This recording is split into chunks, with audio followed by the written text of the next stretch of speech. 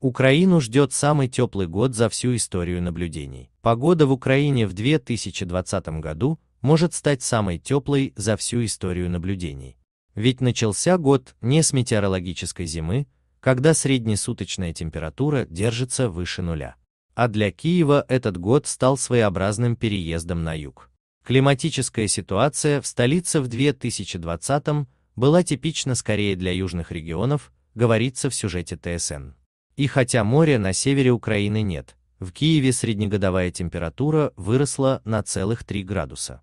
При этом нынешняя неделя тенденцию к потеплению продолжает. Синоптики говорят, что в новогоднюю ночь зимней сказки со снегом ждать не стоит. По всем регионам ожидается плюсовая температура, присущая скорее весне, чем к концу декабря. Так, синоптики Украинского гидромедцентра обещают на 31 декабря дожди на западе, а на юге выше плюс 10 градусов.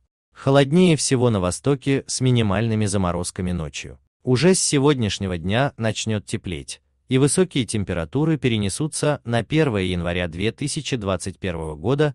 2020 год будет самым теплым за всю историю наблюдений. Видео, ТСН.